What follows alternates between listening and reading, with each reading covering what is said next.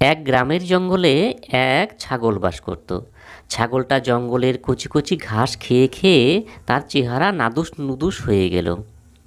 প্রত্যেক দিনের মতো সে আজকেও জঙ্গলের কচি ঘাস খেতে এলো এবং সে মনের আনন্দে নরম নরম কচি কচি ঘাসগুলো খেতে শুরু করল। সে ঘাস খাচ্ছে আর এদিক ওদিক তাকাচ্ছে।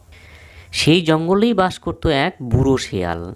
শেয়াল নিজে শিকার ধরতে পারতো না, তার শরীরটা ছিল শীর্ণ, তার কোনো শক্তিই ছিল না।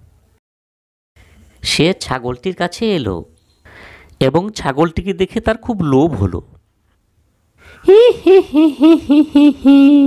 এই ছাগলটাকে যদি আমি খেতে পারি, তাহলে আমার কয়েকদিনের খাওয়া হয়ে যাবে। আমার গায়ে জোরও হবে। আমি আবার পুরনো শক্তি ফিরে পাবো। যে করেই হোক এই ছাগলটাকে খাওয়ার একটা মতলব আমাকে বের করতেই হবে। এই ছাগলটাকে যেভাবেই হোক আমার বাড়িতে নিয়ে যেতে হবে। তারপরে কে মজা করে খাব? ছাগল ভাই ছাগল ভাই তুমি কেমন আছো? কে? কে ডাকছে আমাকে? তোমাকে তো আমি চিনতে পারলাম না তুমি কে? তোমার বাড়ি কোথায়? আমি এই জঙ্গলেই থাকি। আমাকে তুমি তোমার বন্ধু বলে ভাবতে পারো। তুমি আমার বাড়িতে যাবে? না না না আমি অচেনা কারও বাড়িতে যাই না। আহা অচেনা কেমন করে হলে? এখন তো আমরা দুজন দুজনের বন্ধু হয়ে গেলাম। এই শিয়ালটার আসল মতলব কি? আসল মতলব নিশ্চয়ই আমাকে খাবে। দাঁড়াও, দেখাচ্ছি মজাটা তোমাকে। শোনো শিয়াল ভাই, আমি তোমার মতলব বুঝতে পেরেছি। তুমি আমার মাংস খাবে। সেই জন্যই তুমি তোমার বাড়িতে যেতে বলছো, তাই না? তোমার শরীর যত রোগা, তাতে তো তুমি আমাকে খেতে পারবে না।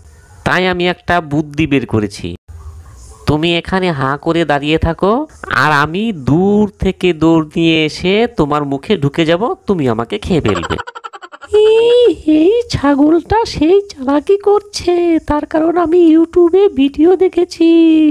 দৌড়ে এসে ওই ছাগলটা শিয়ালকে গুঁতো মেরে একটা খাদের নিচে ফেলে দিয়েছিল এবং শিয়ালটা মারা গিয়েছিল।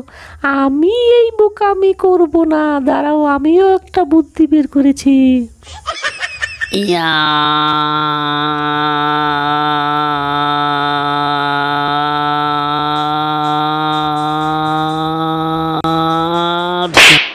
ওরে বাবারে মরে গেলাম রে ওরে বাবারে ওরে বাবারে মরে গেলাম।